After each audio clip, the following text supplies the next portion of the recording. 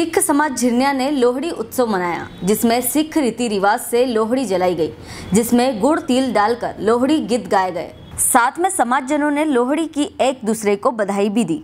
वहीं गुरु सिंह सभा अध्यक्ष अजित पाल सिंह भाटिया, युवा सिख संगठन जिला प्रभारी पंत सिंह भाटिया सहित समाज जन मौजूद रहे। झिरनिया से सुखदीप सिंह भाटिया की रिपोर्ट।